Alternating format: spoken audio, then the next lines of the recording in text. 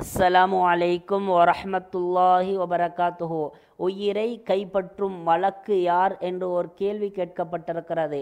இதை பொறுத்தவரையில் எங்களுடைய சமூகத்தில் உயிரை கைப்பற்றும் வழக்கு இஸ்ராயில் என்று சொல்லப்பட்டு அவர்தான் உயிரை கைப்பற்றுவார் என்ற ஓர் நம்பிக்கை கோட்பாடு எங்களுடைய சமூகத்தில் இருப்பதை பார்க்கலாம். இந்த செய்தி எந்த அளவுக்கு எங்களுடைய சமூகத்தில் தாக்கம் செலுத்தி இருக்கிறது என்று சொன்னால் பாடசாலை மாணவர்களுடைய பாட புத்தகத்தில் இஸ்லாம் பாட புத்தகத்திலேயே இந்த செய்தி பதிவு செய்யப்பட்டிருக்கிறது. இதை பொறுத்தவரையில் சகிகான எந்த ஒரு செய்தியும் இவருடைய பேரை உயிரை கைப்பற்றும் மலக்குடைய பேரை இஸ்ராயில் என்று சொன்னது கிடையாது.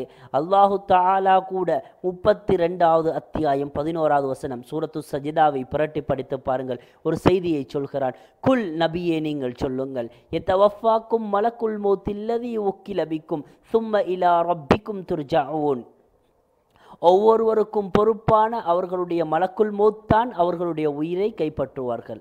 பின்னர் அவர்கள் அல்லாஹுவிடத்தில் தான் உங்கள் இறைவனின் பால் தான் நீங்கள் மீள இருக்கிறீர்கள் என்று நபியே நீங்கள் சொல்லுங்கள் என்று அல்லாஹு தாலா சொல்வதை பார்க்கலாம். எனவே இந்த இடத்திலே மலக்குள் மௌத்தான் உயிரை கைப்பற்றுவார். ஒவ்வொருவருக்கும் ஒவ்வொரு மலக்கு இறக்கிறார்கள் என்பதை அல்லாஹு தாலா இந்த வசனத்தின் மூலமாக தெளிவுபடுத்துகிறார் எனவே இவர்களுக்கு குறிப்பிட்ட ஒரு பெயர் சொல்லப்படவில்லை. ஒவ்வொருவருக்கும் ஒவ்வொரு மலக்கு இருக்கிறது ஒவ்வொருவருக்கும் ஒவ்வொரு மலக்கு பொறுப்பு சாட்டப்பட்டிருக்கிறது என்பதை அல்லாஹு தாலா இந்த வசனத்தில் சொல்வது எங்களுக்கு மிகப்பெரும் ஒரு ஆதாரமாக இருக்கிறது. ஜசாக் முல்லாஹர் அல்லாஹுவே time here in